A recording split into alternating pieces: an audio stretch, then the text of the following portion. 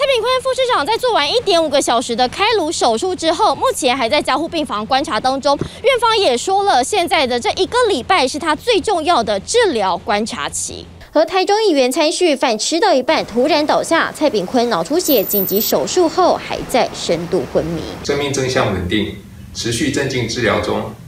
脑压监测皆在正常范围内。好消息是，监测到现在脑压、血压还算稳定。最新疾病况的恐怕还是目击者柯文哲，连两天跑医院。昨天晚上有去加护病房看过蔡护的，所以用的镇定剂了哈，保护脑袋的药，还有那个 D U 什么都上了。三天以后才慢慢让他醒过来，你知道，才才知道说到底这个。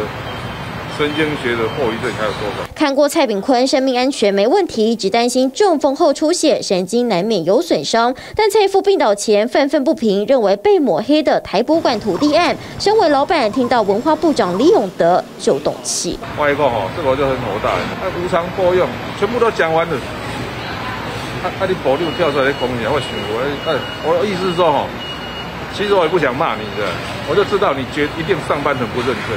我现在到丙团，一个最高的我的我的上班你。大动肝火，可能也想替副手出口气。背后的黄珊珊表情也很凝重，但看看左右手各司其职。蔡炳坤主要负责文化教育类别，黄珊珊督导产业、警政、卫生业务，彭振生着重在工程类。但蔡父病倒后，黄珊珊也传出八月底离开市府参选。本来打算蔡炳坤要接上重担，现在科团队毕业布局被打乱，要怎么重新盘算，还有的好好规划。